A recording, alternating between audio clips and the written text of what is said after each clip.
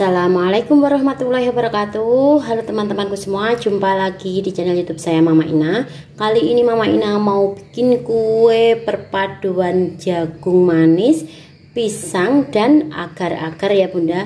Ini jadi kue yang enak Seger, bikin kenyang, gurih, manis.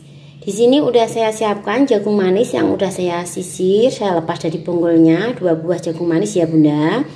Lalu 5 buah pisang, saya menggunakan pisang raja dan agar-agar. Ini yang pertama untuk jagungnya saya akan haluskan terlebih dahulu, saya bikin jus dulu. Seperti biasa untuk menghaluskan jagungnya saya menggunakan Omni Blend BL100 produk dari Mito ya Bunda.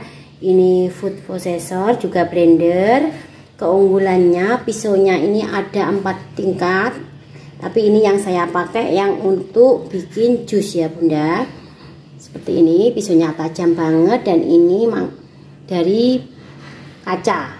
Terus kita akan masukkan terlebih dahulu untuk jagungnya. Omni Blend ini keunggulannya untuk bikin jus itu cepet banget halusnya.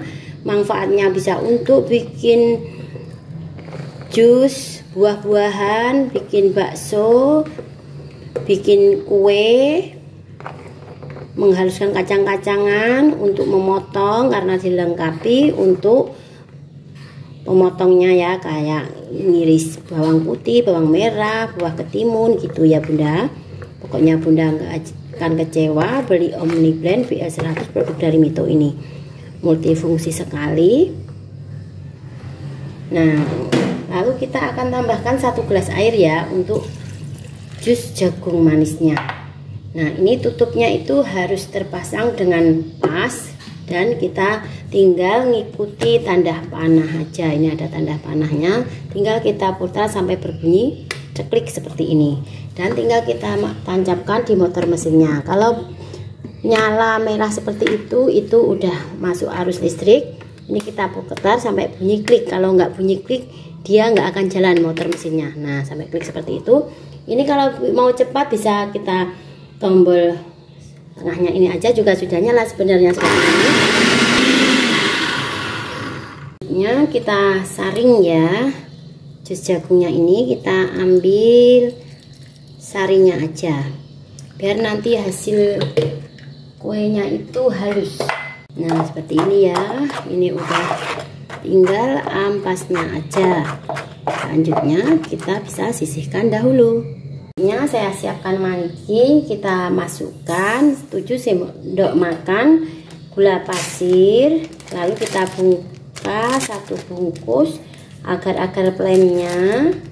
Kita masukkan semua satu bungkus. Kita tambahkan sedikit garam biar tambah sedap. Lalu saya akan aduk dulu selanjutnya di sini udah saya sediakan santan 2 gelas santan kekentalan sedang ya. Saya aduk lagi. Selanjutnya saya tambahkan setengah bungkus kental manis. Ini saya pakai setengah aja nanti yang setengah untuk adonan pisangnya ya bun. Jadi cukup satu bungkus aja. Kita aduk lagi lalu kita masukkan jus jagungnya ini. Kita masukkan semua. Saya aduk lagi. Saya tambahkan satu lembar daun pandan. Saya akan potong. Kita masak dengan api sedang sampai mendidih. Sambil terus diaduk-aduk. Biar santannya tadi nggak pecah ya. Ini biar lebih cantik nggak pucat saya tambahkan sekitar 3 4 tetes warna kuning ya. Nah biar warna itu sedikit merinding menyerupai jagung asli seperti ini. Udah mulai mendidih ya pinggirnya. Selanjutnya kita masukkan satu sendok makan tepung maizena ataupun tepung jagung. Kita aduk lagi lalu kita masak lagi sampai mendidih lagi dengan sempurna nah ini bahan puding jagungnya udah mendidih dengan sempurna meletup-letup. Dan aroma daun pandan juga semerbak wangi ya udah cukup merebusnya. Kita padamkan api dan kita tuang ke loyang sambil kita sisihkan daun pandannya. Ini udah saya siapkan loyang udah saya olesi dengan air matang. Loyang besarnya ukurannya 20 kali 20 tinggi 7 cm ya. Selanjutnya langsung saja kita aduk dulu ya. Kita masukkan semua ke dalam loyang. Lalu kita dinginkan dahulu. Saya akan siapkan untuk pisangnya ini ya.